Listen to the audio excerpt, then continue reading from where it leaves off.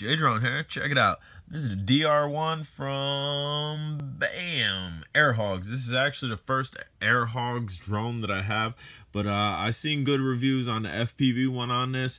This was marked for almost forty dollars in the store. We went to we went to Walmart.com. It was rolled back for twenty fifty, twenty dollars and fifty cents. And and the store that I went to, they said we're down. We'll let you have it for that. So now i got it. Just really quick unboxing here. Obviously you have your drone and uh, you get a controller and you get a charging cable. You also get a propeller tool. You get four different props uh, two black two red and your instruction manual. And just really quickly we'll go ahead and show you a basic size of this. This is almost identical to the Eachine 010 as you can see and uh, we'll just do side by side there.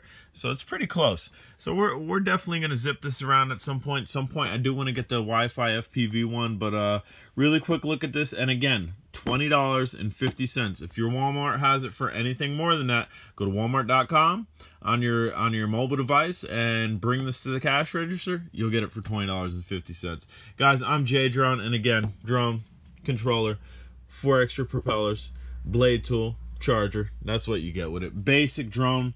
$20 for this is king. Uh, $30 is fair retail. 40 I think is a little bit high. All right, guys, if you haven't subscribed, please do it and have a wonderful day. Take care.